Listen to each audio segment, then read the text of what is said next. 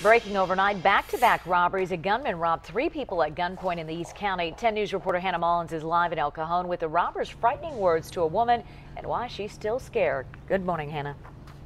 Good morning. Our 10 News photographer spoke to one of the people who works right there at that Vons about those terrifying moments, and her fear has only grown. We do want to get to some video we have for you because El Cajon police pulled up just before midnight. You see it right there. The woman says a man on a bicycle pointed a gun at her and said, Don't scream, then proceeded to take her purse and headed southbound through the parking lot. And we got word of another armed man two hours earlier on a bicycle robbing someone in El Cajon near a Walmart. We talked to the sheriff's department before he first went live at 4:30. They tell us there was a similar scene in Santee as well of a person on a bicycle robbing someone at gunpoint, also near a Walmart. As for the Vons employee, she says she's worried because her ID with her address was inside her purse. Now, of course, an armed man on that bicycle has her address. We're live in El Cajon. Hannah Mullins, 10 News.